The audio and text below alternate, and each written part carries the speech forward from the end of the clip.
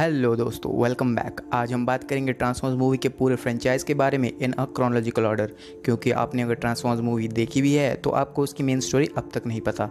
तो देरी क्यों? शुरू करते हैं। लेकिन शुरू करने से पहले do subscribe and support our channel in Transformers पूरी स्टोरी स्टार्ट होती है from the cube all spark cube एक सोर्स है जिससे ट्रांसफॉर्मर्स क्रिएट हुए थे, जो कि उनका खुद का मानना था। लेकिन हम एज ऑफ़ एक्सटिंक्शन में जान पाते हैं कि ट्रांसफॉर्मर्स किसी मैजिकल क्यूब से नहीं, बल्कि उन्हें क्रिएट किया था द क्रिएटर्स ने। द क्रिएटर्स अर्थ पर 65 मिलियन सालों पहले आते हैं एंड ये लोग अर्थ पे सीड्स प्लांट करते हैं। लेकिन ये पेड़ पौधों वाली सीड्स नहीं थी, ये सीड्स थी टेराफॉर्मिंग सीड्स जो कि ऑर्गेनिक मैटर को ट्रांसफॉर्मिंग में कन्वर्ट करती है। ट्रांसफॉर्मर्स बेसिकली मशीन्स है, इसलिए उन्हें ज़िंदा रहने के लिए एनर्जी ऑन की ज़रूरत है। एनर्जी ऑन क्रिएट करने के लिए ट्रांसफॉर्मर्स के पास स्टार हार्वेस्टर है एंड स्टार हार्वेस्टर एक पूरे तारा को निकल कर उसकी एनर्जी को स्टोर कर सकती है। अब जो प्राइम्स थे, यानी कि लीडर ऑफ़ प्लानट साइबरट्रॉन इन सब में एक रूल था कि कभी भी ये लोग किसी ऐसे प्लानट की सन को डिस्ट्रॉय नहीं करेंगे जिसमें लाइफ एग्जिस्ट करती है। लेकिन एक इनमें से प्राइम था, जिसका नाम था द फॉलन वही रूल को तोड़कर अर्थ पर आ जाता है एंड इजिप्ट में एक स्टार हार्वेस्ट को एक्टिवेट कर देता है। फॉलन को रोकने के लिए बाकी प्राइम्स अर्थ पर आते हैं एंड फॉलन को ट्रांसफॉर्मर्स जेल में कैद कर देते हैं। अब बाकी प्राइम्स खुद को सेक्रीफाइस करके स्टार हार्वेस्टर की की द मैट्रिक्स ऑफ़ लीडरशिप को प्रोटेक्ट करते हैं। खुद को पिघलाकर। हज़ार साल बीत जाते हैं एंड साइबरट्रॉन पर अब एक सिविल वॉर छिड़ चुकी थी। दो ग्रुप्स के बीच, जिनका नाम था ऑटोवर्ड्स और डिसेप्टिकॉन्स ऑटोवर्ड्स जिनका लीडर था ऑप्टिमस प्राइम और डिसेप्टिकॉन्स का लीडर था मेगाट्रॉन जो कि फॉल इनका अप्रेंटिस था।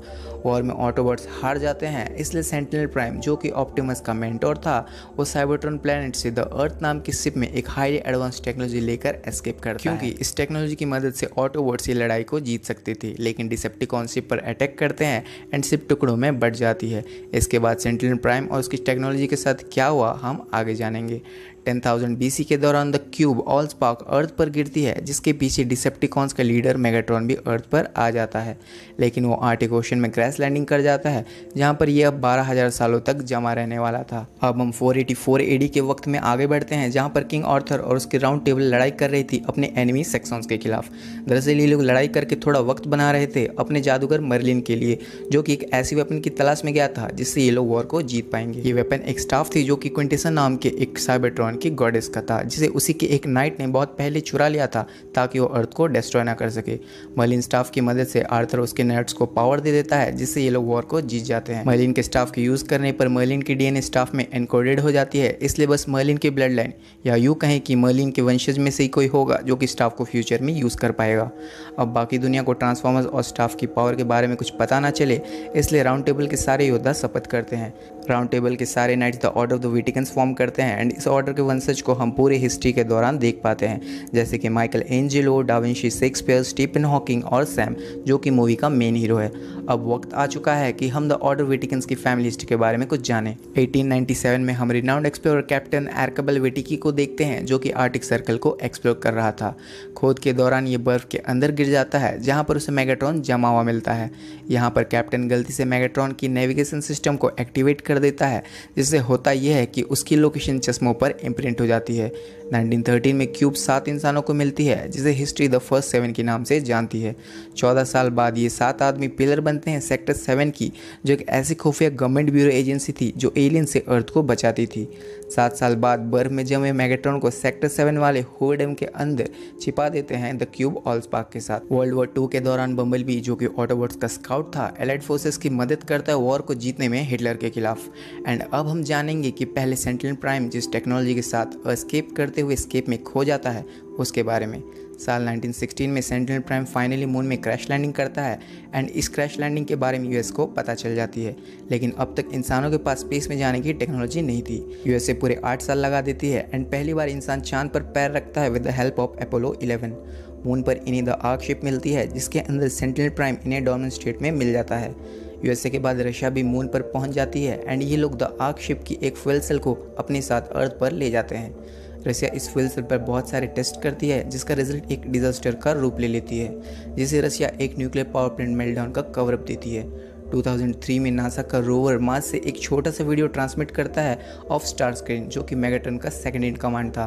चार साल बाद डिसेप्टिकॉन्स फाइनली अपनी चाल चलते हैं by attacking American intelligence system ताकि उन्हें उनके लीडर मेगाट्रॉन की लोकेशन पता चले। अमेरिकन इंटेलिजेंस से इन्हें पता चल जाता है कि मेगाट्रॉन की लोकेशन की कोऑर्डिनेट्स कैप्टन विटविकी के चश्मे में इम्प्रिंटेड थी। ये चश्मा प्रेजेंट में सैम के पास था, जो कि कैप्टन विटविकी का पर पर पर्प होता था। सैम इस दौरान एक पुरानी सी कार खरीद लेता है, जो कि दरअसल बम्बल भी था एक कार के फॉर्म में। डिसेप्टिकॉन सैम का पता लगा लेते हैं, लेकिन बम्बल भी सैम को इनसे प्रोटेक्ट करता है और ऑप्टिमस प्राइम भी बाकी ऑटोबर्ट के साथ फाइट को ज्वाइन करता है। यहाँ पर सेक्टर सेवन पहुँच जाती है और सैम को बम्बल बी के साथ अरेस्ट करके होवर डैम ले जाते हैं, जहाँ पर सेक्टर सेवन ने मेगाट्रॉन और द क्यूब ऑल्स पार्क को रखा हुआ था। डिसेप्टिकॉन्स इनका पीछा करते हुए फैसिलिटी में पहुंचकर पूरे सिस्टम को हैक कर देते हैं। जिससे होता यह है कि मेगाटॉन अपनी क्रायो स्लिप से जाग जाता है। डिसेप्टिकॉन्स और ऑटोबोट्स की लड़ाई फिर शुरू हो जाती है एंड सैम क्यूब की मदद से मेगाट्रॉन को मार गिराता है। यूएस गवर्नमेंट इस हादसे के बाद सेक्टर सेवन को बंद करवा देती है एंड मेगाट्रॉन के बचे हुए रैकेज को समंदर की गहराइयों में डिस्पोज कर देती है। ऑटोबोट्स का लीडर ऑप्टिमस प्राइम यहाँ पर स्पेस में एक मैसेज ट्रांसमिट करता है बाकी ऑटोबोट्स को, जो कि छिपे हुए थे स्पेस में, उन्हें इस वॉर में शामिल होने के लिए। नाउ स्टोरी कंटिन्यूज और साल है 2009 का। गवर्नमेंट और ऑटोवर्ड्स नेस्ट नाम की एक सीक्रेट एजेंसी बनाते हैं, जिनका काम था अर्थ में छुपे हुए डिसेप्टिकॉन्स को मार गिराना। संघाई के मिशन के दौरान जब ये लोग एक डिसेप्टिकॉन को डिस्ट्रॉय करते हैं, उनसे कहता है कि फॉलन इज़ बैक जी हाँ डिसेप्टिकॉन्स के लीडर फॉलन अपने कैद से बाहर आकर सीधे अर्थ पर पहुँच जाता है। सैम इधर अपने लाइफ से खुश था एंड उसे एक दिन द क्यूब ऑल स्पार्क की एक पीस मिलती है, जो उसे एंसेट साइबरट्रोनियन नॉलेज शो करती है, जिसे वो हैंडल नहीं कर पाता एंड पागलों जैसी हरकत करने लगता है। गवर्नमेंट एजेंसी नेस के पास भी क्यूब की एक पीस थी, जिसे डिसेप्टिकॉन शुरा कर मेगाट्रॉन को दोबारा ज़िंदा कर देते हैं। फॉलन मेगाट्रॉन को अब कमांड करता है कि ऑप्टिमस प्राइम को मार दे। मेगाट्रॉन इस काम में लगभग कामयाब भी हो जाता है। ऑप्टिमस की मौत के बाद सैम अपनी गर्लफ्रेंड और एजेंट साइमन के साथ मिलकर जेटफायर नाम के एक डिसेप्टिकॉन से मिलने जाता है। जेटफायर ऑटोबॉट्स और डिसेप्टिकॉन्स की इस लड़ाई से उब चुका था एंड जेटफायर इन सबको इजिप्ट में टेलीपोर्ट करता है, जहाँ पर वो इनसे इन्फॉर्मेशन शेयर करता है कि the Fallen matrix of leadership की तलाश में है, जो कि स्टार हार्वेस्टर मशीन का की था।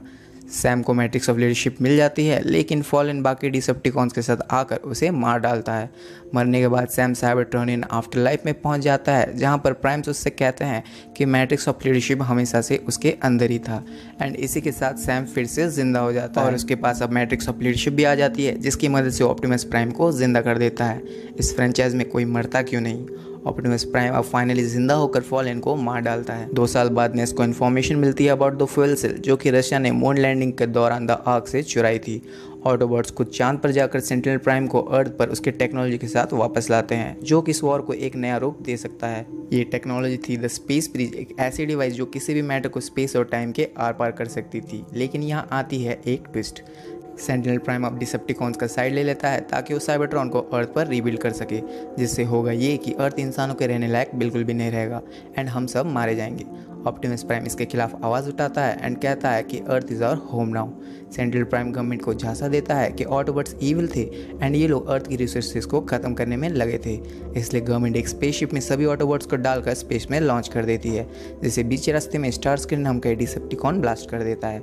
ऑटोबर्ट्स का खात्मा होते ही डिसेप्टिकॉन शिकागो पर हमला कर देते हैं, लेकिन ऑटोबॉट सच में मरे नहीं थे. ऑप्टिमस प्राइम सेंट्रल प्राइम को यहाँ पर मार देता है एंड स्पेस बेस मशीन को डिस्ट्रॉय कर देता है. Now coming Transformers the last knight इसमें हमें दुनिया का नया रखवाला केड मिलता है। केड एक inventor slash junker slash dad slash entrepreneur था, लेकिन वो खुद के लिए एक पुरानी खटारा ट्रक खरीदता है। एंड बूम उसे पता चल जाता है कि एक ट्रांसफॉर्मर है, जो कि सच भी था, क्योंकि ये ट्रक ऑप्टिमस प्राइम था, जो कि सिमेट्री नाम की एक सी आई ए सी के ट्रांसफॉर्मर हंटिंग एजेंसी से बच रहा था, जिसका हेड हैरल्ड था। हैरल्ड इस ऑपरेशन के लिए साइबरट्रोनियन बाउंटी हंटर लॉकडाउन से डील करता है एंड वो अर्थ पर बचे हुए सभी ट्रांसफ़र के खात्मा में लगे रहता है। कुछ सालों बाद सिमेट्री को ऑप्टिमस प्राइम के केट्स के फॉर्म पर होने की इंटेल मिलती है जिस जिससे ऑप्टिमस और केट्स बाल बाल बचते हैं। फिर ऑटोबॉट्स रिग्रुप होते हैं, जहाँ पर केट और बाकी ऑटोबॉट्स को ये पता चलता है कि के नाम की एक एजेंसी है, जो कि ट्रांसफॉर्मर्स के रैकेज को चुरा कर उसकी मदद से आर्टिफिशियल ट्रांसफॉर्मर्स क्रिएट कर रही थी। गैलेवेट्रॉन नाम की एक आर्टिफिशियल ट्रांसफॉर्मर इन लोगों ने ऑलरेडी बना ली थी, जिसमें मेगाट्रॉन की डीएनए थी। केड और ऑटोबॉट्स इनसे एस्केप करते हैं, लेकिन गैलवेट्रॉन और बाकी डिसेप्टिकॉन्स इनके पीछे पड़ जाते हैं। इवेंचुअली लॉकडाउन भी यहाँ पर आ जाता है एंड ऑप्टिमस प्राइम को पकड़ लेता है। ऑप्टिमस से कहता है कि द क्रिएटर्स ने उसे अपने पास वापस बुलाया है। ऑप्टिमस को पकड़ने के लिए एटिंगर ने लॉकडाउन की मदद की थी, इसलिए लॉकडाउन उसे क्रिएटर्स की एक सीट देता है, जिसे एटिंगर के के कुछ शेयर्स के रिटर्न में के की हेड जोशा जॉयस को बेच देता है। जो स्वाइन सीड को डेजर्ट में एक्टिवेट करने वाला था, जिससे ढेर सारा ट्रांसफॉर्मर मिलता एंड इससे ये आर्टिफिशियल ट्रांसफॉर्मर्स क्रिएट करता। लॉकडाउन अपनी शिप में ऑप्टिमस प्राइम को बंदी बनाया हुआ था, जहाँ पर केड आकर उसे वहाँ से छुड़ा लेता है। वो लोग एक एस्केप शिप की मदद से बाकी ऑटोबॉट्स के साथ रिग्रुप करते हैं एंड के एस के हेडक्वार्टर में गलवेट्रॉन अब पूरी तरह से मेगाट्रॉन का रूप ले लेता है। क्योंकि उसमें मेगाट्रॉन का डीएनए यूज़ किया गया था उसे क्रिएट करने के लिए। मेगाट्रॉन भी अब सीड के पीछे लग जाता है ताकि वो अपनी खुद की ट्रांसफॉर्मर्स की आर्मी बना सके। लेकिन जोसुआ सीड को लेकर हांगकांग एस्केप करता है, जहाँ पर ऑटोबॉट्स और डिसेप्टिकॉन्स की एज यूजल लड़ाई हो जाती है। अब हेल्प की तलाश में ऑप्टिमस डायनोबॉट्स के पास जाता है, जो कि नोबल साइबरट्रोनियन वॉरियर्स थे। ऑप्टिमस इनमें से एक डायनोबॉट को राइड करता है एंड मिलकर ये लोग डिसेप्टिकॉन्स को हरा देते हैं। ऑप्टिमस वॉर के बाद अर्थ को छोड़कर द क्रिएटर्स की तलाश में स्पेस में निकल पड़ता है। लेकिन उसे पूरे तीन सालों बाद बस एक ही क्रिएटर मिलती है जिसका नाम था क्विंटेसा क्विंटिसा उससे कहती है कि जिस अर्थ को सालों से प्रोटेक्ट कर रहा था, वो अर्थ दरअसल एक बहुत बड़ा ट्रांसफॉर्मर है, जिसका नाम था यूनिक्रॉन जिसमें इतनी एनर्जी थी कि वो साइबरट्रॉन प्लेनेट को दोबारा ज़िंदा कर सकता है. क्विंटिसा ऑप्टिमस को ब्रेन वॉश करके ऑर्डर देती है कि वो अर्थ में वापस जाकर स्टैप को अपने साथ वापस लाए, ताकि वो यूनिक्रॉन को एक्टिवेट कर सके. जब ऑप्टिमस अर्थ छोड़कर क्रिएटर्स की तलाश में गया था केड और बाकी ऑटोबर्ट्स छिप छिप कर अपने दिन काट रहे थे. इसी दौरान उसे क्रैश सैबेट्रोनियन शिप मिल जाती है, जहाँ पर उसे क्विंटिसा का एक नाइट अधमरी हालत में मिलता है। मरने से पहले नाइट केड को एक टेलिसमन देता है, जिसमें उसे सर एडमंड बर्टिन के बारे में पता चलता है, जो order of the Witwiccans के एक डिसेंडेंट था। एंड फिर हम विवियन वेमली नाम के एक हिस्ट्री प्रोफेसर को देखते हैं। याद है, किस तरह से order of the Witwiccans Merlin के वंशज को प्रोटेक्ट करने की शपथ ली थी? विवियन को पता चलता है कि वो मर्लिन के वंशज की आखिरी वारिस है, एंड जो क्विंटेस स्टाफ को यूज़ करके सबको बचा सकती थी। लेकिन इनके पास स्टाफ ज़्यादा देर तक रहने वाला था नहीं। क्विंटेसा और ऑप्टिमस प्राइम जो कि अब नेमेसिस बन चुका था अर्थ पर ट्रेवल करके स्टाफ को वापस ले लेते हैं। क्विंटेसा स्टाफ की मदद से अर्थ को, या यूँ कहें कि यूनिक्रॉन को एक्टिवेट कर देती है। अब नेमेसिस को रोकने के लिए बम्बल भी आता है एंड इन दोनों में लड़ाई हो जाती है। बम्बल भी फाइट को हार रहा होता है, लेकिन यहाँ पर उसकी ओरिजिनल वॉइस आ जाती है, जिसे सुनकर नेमेसिस वापस से ऑप्टिमस प्राइम बन जाता है। साइबरट्रॉन के नाइट्स ऑप्टिमस की इस गद्दारी पर उसे मारने वाले थे, लेकिन केड यहाँ पर उसे प्रोटेक्ट करने के लिए तालिस्मान के साथ फाइट में एंटर करता है, जो कि एक्सकेलिबर नाम के एक लेजेंडरी सोर्ड में कन्वर्ट हो जाती है। एंड ये किड था जो कि द लास्ट नाइट बन जाता है। ऑटोवर्ड्स और ह्यूमंस मिलकर क्विंटेसा के स्टाफ को चुरा कर उसे मार डालते हैं। लेकिन क्योंकि इस फ्रेंचाइज में कोई शांति से मर भी नहीं सकता, थोड़ी देर बाद डेजर्ट में क्विंटेसा वापस आ जाती है, जहाँ पर वो यूनिक्रॉन से रिलेटेड कुछ डेंजरस बात बताती है। एंड में ऑप्टिमस फिर से एक बार स्पेस में बाकी ऑटोबोट्स को मैसेज ट्रांसमिट करता है कि अर्थ ही हमारा घर है। एंड इसी के साथ ट्रांसफॉर्मर्स की टाइमलाइन इज़ एक्सप्लेन तो एक्सप्लेनेशन आपको कैसी लगी मुझे कमेंट्स में ज़रूर बताएँ। वीडियो को लाइक करना ना भूलें। एंड चैनल को सब्सक्राइब करना तो बनता है। तो तब तक के लिए थैंक यू एंड बाय